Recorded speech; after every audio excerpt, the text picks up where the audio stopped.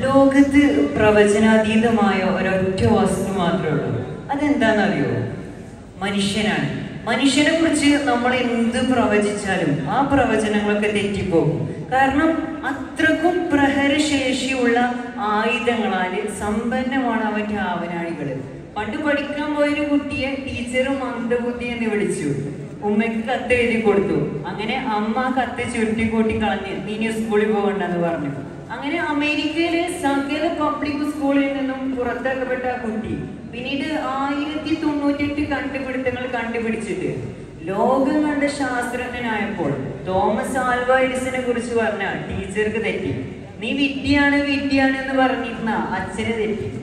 മനുഷ്യനെ കുറിച്ച് എന്ത് പ്രവചിച്ചാലും അങ്ങനെ തന്നെയാണ് അതൊക്കെ തെറ്റിപ്പോകും. കാരണം ഒരു മനുഷ്യൻ എന്താവണം എങ്ങനെ ആയി തീരണം എന്നൊക്കെ തീരുമാനിക്കുന്നത് അവന്റെ ജീവിതത്തിലെ ലക്ഷ്യങ്ങളും ആഗ്രഹങ്ങളും ഒക്കെയാണ് ഏതൊരു ആട്ടിപ്പറ്റത്തിനും ആട്ടിടേൻ എന്ന പോലെയാണ് ഏതൊരു മനുഷ്യനും ലക്ഷ്യങ്ങൾ എന്ന് പറയുന്നത്.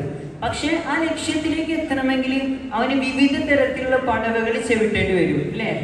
ഓരോ പടവിലും നമ്മുടെ ലക്ഷ്യത്തിനെതിരെ പോരാടുന്ന പലതരത്തിലുള്ള വില്ലന്മാരും നമുക്ക് കാണാൻ കഴിയും. പലരും പറയാറുണ്ട് ഞാനാണ് വില്ലൻ എനിക്ക് എല്ലാവരും തോൽപ്പിക്കാൻ കഴിയും. ശരിക്കും അവനും നല്ല വില്ലൻ നമ്മളറിയാതെ നമ്മളെ പിന്തുടരുന്ന ഒരു വില്ലൻ ഉണ്ട്. അതാരെന്നറിയോ? നമ്മുടെ കംഫർട്ട് സോണാണ്. ഒരു കപ്പൽ അത് കരയിൽ കിടക്കുമ്പോൾ അത് വളരെ സേഫ് ആണ്. അതിന് യാതൊരു വിധത്തിലുള്ള വെല്ലുവിളികളും ഇല്ല. പക്ഷേ അതിനു വേണ്ടിയല്ല കപ്പൽ നിർമ്മിക്കപ്പെട്ടത്. അതിനെ കടലിലേക്ക് ഇറക്കണം. നമ്മൾ നമ്മുടെ ജീവിത സാഹചര്യത്തിൽ പലപ്പോഴും ഇങ്ങനെ ആയി പോകാറുണ്ട്. സോ നമ്മളറിയാതെ നമ്മളെ പിന്തുടരുന്ന വില്ലനെ പറ്റിയിട്ട് ഞാൻ നിങ്ങൾക്കൊരു കഥ പറഞ്ഞു തരാം ഒരിക്കലൊരു രാജാവ് ഉണ്ടായിരുന്നു. അദ്ദേഹം വളരെയധികം വിദേശ രാജ്യങ്ങളിലേക്ക് യാത്ര പോകാൻ ഇഷ്ടമുള്ള ഒരു വ്യക്തിയായിരുന്നു. അങ്ങനെ ഒരിക്കൽ വിദേശ രാജ്യത്തേക്ക് യാത്ര പോയി തിരിച്ചു വരുന്ന സമയത്ത് രണ്ട് നല്ല ചുറുചുറുക്കുള്ള കളർഫുൾ ആയിട്ടുള്ള രണ്ട് പക്ഷികൾ അദ്ദേഹം വാങ്ങിക്കൊണ്ട് വന്നു. പിന്നീട് തന്റെ കൊട്ടാരത്തിലെ ഉദ്യാനത്തിലേക്ക് അവ വിട്ടയക്കാണ് കുറച്ച് സമയത്തിന് ശേഷം രാജാവ് തന്റെ ഉദ്യാനത്തിലേക്ക് ഒന്ന് നോക്കുന്ന സമയത്ത് അതിലൊരു പക്ഷി വളരെ നല്ല ആക്റ്റീവ് ആയിട്ട് ആ ഉദ്യാനത്തിലൂടെ ഇങ്ങനെ പാറി പറന്ന് നടക്കുന്നുണ്ട്. എന്നാൽ മറ്റേ പക്ഷി ആ ചില്ലയിൽ ഇങ്ങനെ അനിശ്ചിതമായിട്ടിരിക്കുക നിശ്ചലമായി ഇങ്ങനെ ഇരിക്കുക. രാജാവിന് ഇത് കണ്ടപ്പോൾ വളരെയധികം സങ്കടം തോന്നി. കാരണം താൻ വളരെയധികം പ്രതീക്ഷ അർപ്പിച്ചു വാങ്ങിയ രണ്ട് പക്ഷികളിലെ. അങ്ങനെ രാജാവ് ഒരു വിളംബരം ചെയ്യാൻ ഉദ്ദേശിച്ചു. തന്റെ പ്രജകളെയും മന്ത്രിമാരെയും ഒക്കെ വിളിച്ചു കൂട്ടി അദ്ദേഹം പറഞ്ഞു ആർക്കാണ് ഈ പക്ഷിയെ പറത്താൻ സാധിക്കാൻ? അങ്ങനെ ഒരുപാട് പക്ഷി നിരീക്ഷകരും ഗവേഷകരും വിദഗ്ധരും രാജാവിന്റെ അടുത്തേക്ക് വന്നു. അവരൊക്കെ ആ പക്ഷിയെ പറത്താൻ ശ്രമിച്ചെങ്കിലും അവർക്കൊന്നും അത് സാധ്യമായില്ല. എന്ന് മാത്രമല്ല ആ പക്ഷി അവിടുന്ന് അനങ്ങിയത് പോലുമില്ല. അവസാനമായിട്ട് വളരെ സിമ്പിൾ ആയിട്ടുള്ള ഒരു കർഷകൻ വളരെ എളിമയുള്ള ഒരു കർഷകൻ രാജാവിന്റെ അടുത്തേക്ക് വന്ന് ചോദിച്ചു രാജാവ് എനിക്ക് കുറച്ച് സമയം തരാവോ? അങ്ങനെ രാജാവ് സമ്മതിച്ചു. പിന്നീട് കർഷകനെ ഉദ്യാനത്തിലേക്ക് ഇറങ്ങി. കുറച്ച് സമയത്തിന് ശേഷം രാജാവ് തന്റെ ഉദ്യാനത്തിലേക്ക് വന്ന് നോക്കുന്ന സമയത്ത് ആ രണ്ട് പക്ഷികളും വളരെ നല്ല ആക്റ്റീവായിട്ട് ആ ഉദ്യാനത്തിലൂടെ ഇങ്ങനെ വട്ടമിട്ട് പാരി പറക്കുന്നു. രാജാവിന് ഇത് കണ്ടപ്പോൾ തന്റെ കണ്ണുകളെ വിശ്വസിക്കാൻ കഴിഞ്ഞില്ല. കാരണം ഒരുപാട് പക്ഷി നിരീക്ഷകരും ഗവേഷകരും വന്നിട്ട് പോലും അവർക്കൊന്നും സാധിക്കാത്തതും ഈ ഒരു സാധു മനുഷ്യൻ എങ്ങനെ സാധിച്ചെന്നുള്ളതിൽ അങ്ങനെ രാജാവ് അദ്ദേഹത്തോട് ചോദിച്ചപ്പോ അദ്ദേഹം പറഞ്ഞു ഞാൻ ആ പക്ഷി ഇരിക്കുന്ന ചില്ല ഒരു വെട്ടി മാറ്റി. സോ മൈ ഡിയേഴ്സ് ഇതുപോലെ നമ്മുടെ ജീവിതത്തിലെ നമ്മുടെ ജീവിതം എന്ന് പറയുന്നത് നമ്മൾ ഒരിക്കലും നമ്മുടെ ലക്ഷ്യത്തിലേക്ക് പറഞ്ഞില്ല പക്ഷി ആ ചില്ലയിൽ ഇരിക്കുന്നത് പോലെ നമ്മൾ ഇരുന്നാൽ നമുക്കൊരിക്കലും നമ്മുടെ ലക്ഷ്യത്തിലേക്ക് പറഞ്ഞു വരാൻ കഴിയില്ല. ശരിക്കും നമ്മുടെ ജീവിതത്തിലെ ഒരു ജയിൽ പോലെ കിടക്കുന്ന സംഭവമാണ് ഈ കംഫർട്ട് സോൺ എന്ന് പറയുന്നത്. അതിന് പുറത്തേക്ക് ഇറങ്ങാൻ പഠിക്കണം. കുറെ ആളുകളുണ്ട്. ഞാനൊക്കെ ജീവിതത്തിൽ തോറ്റുപോയി എന്ന് പറയുന്ന ആളുകൾ അവരുടെയൊക്കെ ലൈഫിൽ അവർ അത്തരത്തിലുള്ള ചാലഞ്ചസ് നേരിടുമ്പോൾ അതിനെ തരണം ചെയ്യാൻ സാധിക്കാത്തതുകൊണ്ട് അങ്ങനെയൊക്കെ പറയുന്നത് അല്ലേ? ഷേഖ് അബ്ദുറഹ്മാൻ അലിയുടെ എന്ന് പറയുന്ന. ആ പുസ്തകത്തിൽ പറയുന്നത് നിങ്ങൾ ഇരുട്ടിനെ പഴിക്കുന്നതിന് പകരം വിളക്കിന് തിരികൊളുത്താൻ ശ്രമിക്കുക കാരണം സീറോയിൽ നിന്ന് വണ്ണിൽ ടൂവിൽ എത്തിയിട്ടാണ് നമ്മൾ തൗസൻഡിലേക്ക് എത്തുന്നത് അല്ലേ?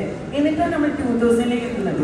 സോ ഏതൊരു കാര്യം തുടങ്ങുമ്പോഴും അതിന്റെ തുടക്ക സമയം നമുക്ക് വളരെ ഡിഫിക്കൽട്ടി ആയി ഫീൽ ചെയ്യും. പക്ഷേ അവിടെ നമ്മൾ വളരെ പവർഫുൾ ആയിട്ട് കരുത്തോടെ ക്ഷമയോടെ ധൈര്യത്തോടെ വീണ്ടും വീണ്ടും ട്രൈ ചെയ്തുകൊണ്ടിരിക്കണം. It's going to be easy, but it is worth it. നമുക്ക് ഉയർന്ന ലക്ഷ്യങ്ങൾ ഉണ്ടാകുമ്പോൾ ജീവിതത്തിൽ വഴിത്തിരിവുകൾ ഉണ്ടാക്കാൻ സാധിക്കുകയുള്ളൂ അത്തരത്തിലുള്ള ഉയർന്ന ലക്ഷ്യങ്ങൾ കൈവരിക്കാൻ കൈവരിക്കണമെന്നുണ്ടെങ്കിൽ നമ്മൾ മൂന്ന് കാര്യങ്ങൾ അറിഞ്ഞിരിക്കണം. ഒന്നാമത്തെ കാര്യം നോളജ് നമ്മൾ എന്ത് ലക്ഷ്യത്തിലേക്കാണ് ഇറങ്ങാൻ പോകുന്നത്? ആ ലക്ഷ്യത്തെ കുറിച്ച് നമ്മൾ നല്ലവണ്ണം മനസ്സിലാക്കണം പഠിക്കണം വായിക്കണം. നമുക്ക് ഇന്ന് എന്തിനെ കുറിച്ച് അറിയാനും മനസ്സിലാക്കാനും ഒരുപാട് സൗകര്യങ്ങളും അവസരങ്ങളും കണ്ടില്ലേ സോ യൂസ് ഇറ്റ് പ്രോപ്പർലി രണ്ടാമത്തെ കാര്യം take it step by step നമ്മൾ ഒരിക്കലും ഒരു പുസ്തകം വായിക്കുന്നത് മുഴുവനായിട്ടല്ല. കുറച്ച് പേജ് ആഫ്റ്റർ പേജ് ആണ്. സോ അതുപോലെ നമ്മുടെ ജീവിതത്തിൽ ഓരോ താളുകൾ മറിച്ചുകൊണ്ടിരിക്കണം. One step at a time മൂന്നാമത്തെ കാര്യം ടേൺ പ്രഷർ ഇന്റു എക്സൈറ്റ്മെന്റ് നമ്മളുടെ ജീവിതത്തിൽ നേരിടുന്ന ഏറ്റവും വലിയൊരു വെല്ലുവിളിയാണ് നമ്മുടെ പ്രഷർ എന്ന് പറയുന്നത്. നമ്മൾ എന്ത് ലക്ഷ്യം പൂർത്തീകരിക്കാൻ വരുമ്പോഴും അതിന്റെയൊക്കെ ഒരു വിലങ്ങ് തടിയാൻ നിൽക്കുന്ന സംഭവം നമ്മുടെ പ്രഷർ സോ നമ്മൾ ഡെഡ് ലൈൻസ് ചേർക്കണം ഞാൻ ഇത് തീർക്കുക തന്നെ ചെയ്യും. എന്തായാലും ഞാൻ തീർത്തിരിക്കും ഇത് മനസ്സിൽ കരുതുക. എന്നിട്ട് വർക്ക് ചെയ്തു തുടങ്ങുക. പലരും എന്താ പലപ്പോഴും ആൻസൈറ്റി ചെയ്യുമ്പോൾ ഒരു പ്രഷർ ഫീൽ ചെയ്യാം അല്ലേ അവർക്കൊക്കെ? എനിക്ക് ഈ ടാലന്റ് ഉണ്ടോ? എനിക്ക് നീ കഴിവുണ്ടോ? ഒരു കോൺഫിഡൻസ് തോന്നില്ല. സോ നമ്മൾ വട്ട പൂജ്യമായിട്ടൊരു പുതിയ കാര്യത്തിലേക്ക് ഇറങ്ങാണ്. It's a challenge for you അത് നിങ്ങൾക്കെതിരെയുള്ള ഏറ്റവും വലിയ ചാലഞ്ചാണ് പക്ഷേ if it doesn't challenge you it doesn't change you അത് നിങ്ങൾക്കെതിരെയുള്ള വെല്ലുവിളി ആയിട്ടില്ലെങ്കിൽ അത് നിങ്ങൾക്ക് മാറ്റം വരുത്തുകയില്ല. നമ്മളൊക്കെ പഠിച്ചവനോട് പ്രാർത്ഥിക്കുമ്പോൾ സ്വർഗം ചോദിക്കാറില്ലേ? എന്നാൽ നിങ്ങളെപ്പോഴെങ്കിലും പഠിച്ചവനോട് ജന്നാത്തിൽ ഫിർദൗസ് ചോദിച്ചിട്ടുണ്ടോ? ഇല്ലല്ലോ ഇതാ അല്ല പഠിച്ചവനോട് സ്വർഗം അല്ല ചോദിക്കേണ്ടത് ജന്നാത്തിൽ ഉന്നതമായ സ്വർഗം you can if you can see in your mind you can hold in your hand നിങ്ങൾക്ക് ഒരു ലക്ഷ്യത്തെ സ്വപ്നം കാണാൻ കഴിയുന്നുണ്ടെങ്കിൽ നിങ്ങൾക്ക് ആ ലക്ഷ്യത്തിലേക്ക് എത്തിപ്പിടിക്കാനും സാധിക്കും. ഇംഗ്ലീഷിൽ ചെറിയ അക്ഷരത്തിൽ ഐ എന്നിങ്ങനെ എഴുതാൻ നമുക്കറിയാലേ ആദ്യം വരയിടും അതിന്റെ മുകളിലേക്ക് കൊത്തു കൊടുക്കും. എന്നാൽ അത് തിരിച്ചിട്ടാലോ? അതിശയമാണ് എക്സ്ക്ലമേഷൻ ആണ്. ഓരോ മനുഷ്യന്റെ ഉള്ളിൽ ഒന്നിലേറെ അത്ഭുതങ്ങൾ ഒളിഞ്ഞു കിടപ്പുണ്ട്. അവനവൻ അവന്റെ ഉള്ളിലെ ഒരു അത്ഭുതത്തെ എപ്പോഴാണോ തിരിച്ചറിയുന്നത് അപ്പോഴാണ് അവൻ അവന്റെ ഉള്ളിൽ അയ്യെ മനസ്സിലാക്കുന്നത്. സോ ഇന്ന് വരെ നമ്മളെ കുറിച്ച് വിചാരിച്ചതിനപ്പുറം ഒരുപാട് കഴിവുകളും സാധ്യതകളും നമുക്കുണ്ട്. ആ കഴിവുകളും സാധ്യതകളും ഉപയോഗിച്ചുകൊണ്ട് നമ്മൾ ഉയർന്ന ലക്ഷ്യത്തിലേക്ക് പറന്നുയരണം നിങ്ങളുടെ സങ്കടം നിങ്ങളുടെ വിഷമം കാണാൻ ഈ ലോകം കാത്തിരിക്കുമെന്ന് നിങ്ങൾ വിചാരിക്കുന്നുണ്ടോ?